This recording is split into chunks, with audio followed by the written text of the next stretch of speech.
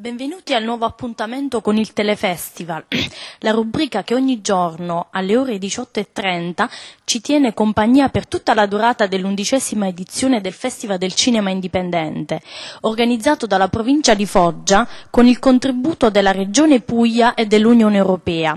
Passiamo subito al programma degli eventi previsti per domani 5 dicembre. Si apre con le scuole la quarta giornata del festival con un appuntamento mattutino organizzato in collaborazione con la delegazione di Foggia del FAI presso il Museo Provinciale di Storia Naturale.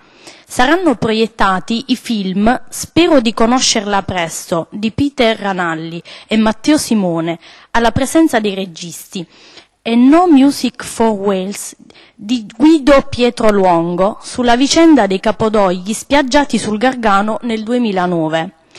Per il dibattito sui temi ambientali sarà presente Maria Luisa D'Ippolito, capodelegazione di Foggia del FAI.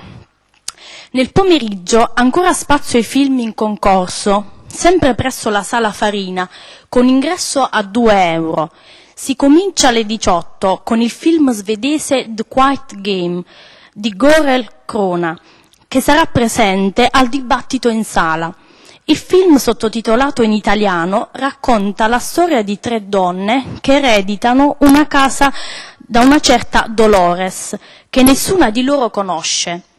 Alle ore 20, sempre alla Sala Farina, in via Campanile, il regista Giampaolo Vallati e l'attore Angelo Orlando presenteranno il film Cara ti amo, storia di quattro amici quarantenni alle prese con un dilemma esistenziale.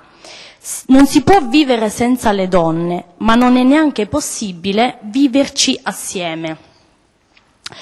La regista Mirka Viola e l'attore Paolo Briguglia interverranno invece alla proiezione del 22, delle 22 del film L'amore fa male, storia di Germana, attrice disoccupata che a un certo punto incontra Gianmarco e poi Elisabetta, con cui salda un forte rapporto di amicizia, proprio mentre affiorano per entrambe una serie di risvolti inaspettati e crude verità.